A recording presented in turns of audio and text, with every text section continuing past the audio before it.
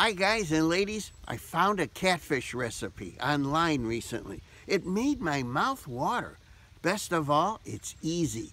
I know very little, though, about catching catfish. Ah, but I know a little about catching bass, bluegill, and crappie. Their flesh is similar white, mild fish, right? So, how about if we try to catch something, anything, so that we can give this recipe a try?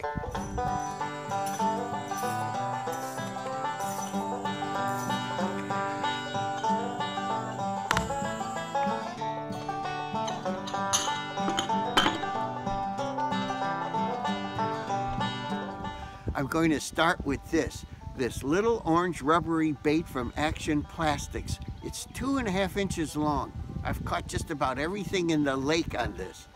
It's March and the temperature today is just 45 degrees, so let's hope it works in the muddy cold water of Lake Catch a Big One. Let's get out there and see what happens.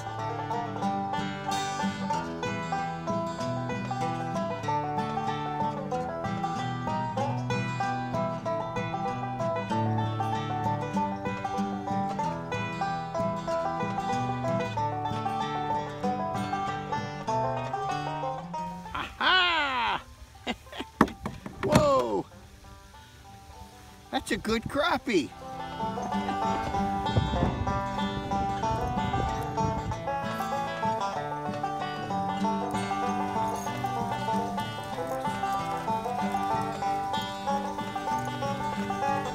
I think it's a bluegill.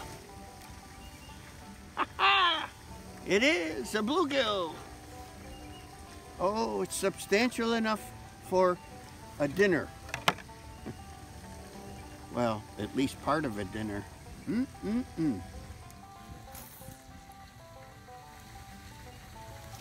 Another fish. Another crappie. Wow, and they're all big.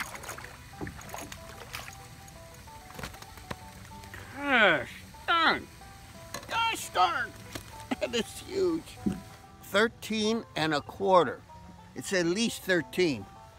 Wow, nice.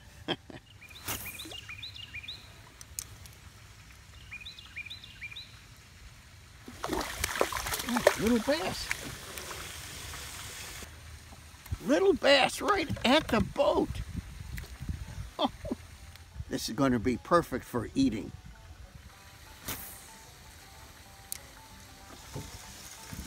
Another crappie. What's going on here? Wow. And they're all big. Wow.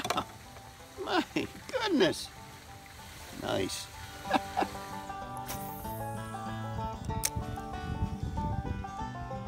yes. Yes. Bass. Wow. It had been a while, but I got another good eating bass. Bass are delicious.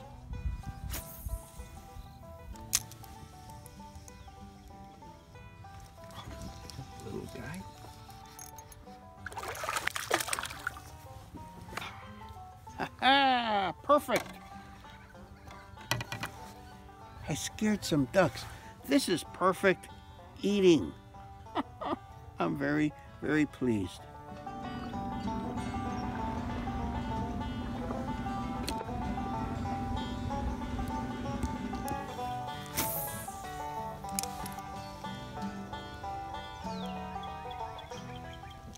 Something. Something. It's a gilly.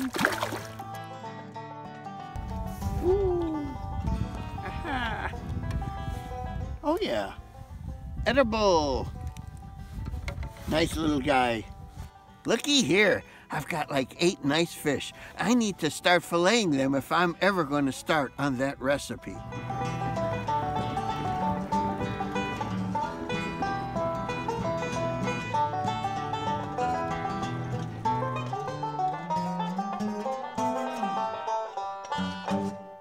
I had a blast fishing today. I managed to get about three pounds of fish fillets, but here I'll use just one pound.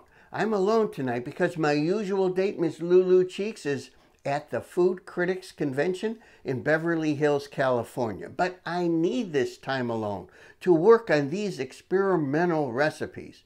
Well, like this one for catfish, which isn't catfish. Now, time to get dicey.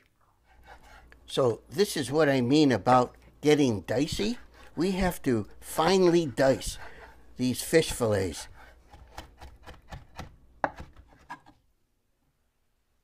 Here goes a half cup of diced onions. Now in goes a half cup of diced green bell peppers.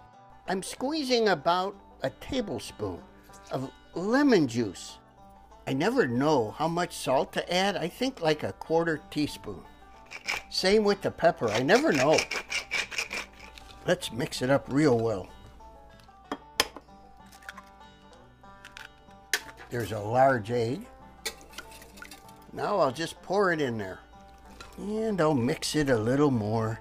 Here is where it gets even stranger. The recipe says to add 3 quarters cup of Bisquick. Well, that stuff is very high in carbs, and if you know me, I like to restrict carbs when I can. So here I have something with only 1 12th the carbs. It's called Carbquik. Let's add this instead.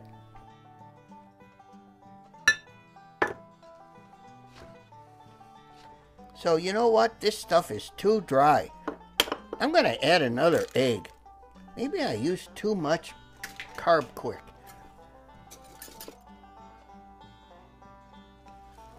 Oh, it's looking much better now. Before I make my patties, I'm going to put a whole stick of butter in this big skillet.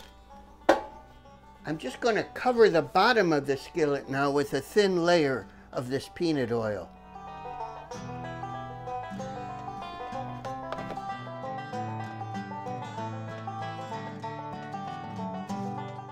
there must be 20 of them here.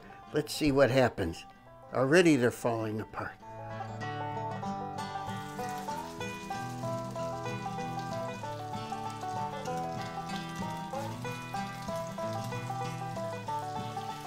Not too bad.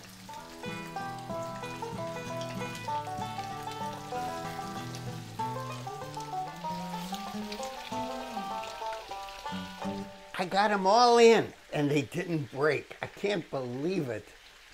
that extra egg helped. I'm thinking two and a half minutes on side one and two and a half minutes on side two because that fish is in there and we need to get into the center and make sure it's cooked. Whoa.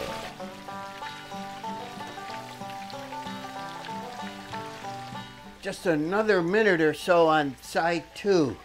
Oh, they smell great. Mm-hmm. I have to remember the order in which I put them in. Oh, yeah. Last one out is a rotten bass. Look at that. They really, really came out at least looking good and smelling good. But you know, the final test is yet to come.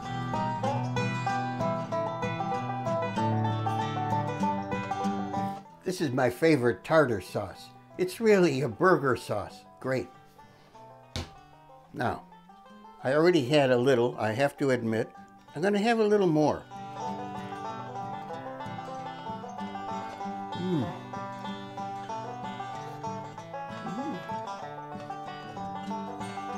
I don't know how to describe these. There's a bit of doughiness, and I get the slightest hint of eating a pancake but the flavor is great. For such simple seasonings, uh, there's enough intensity here, probably mostly from the onions, and of course, I can taste the, the bell pepper too. Um, I like these a lot. Next time, maybe I'll try making them with coconut or almond flour. This is super though, as is. Some people say I'm nuttier than a fish cake. Well, I don't care. I had a lot of fun today. Thank you all so much for watching. I hope you had a little fun too. All the best to you.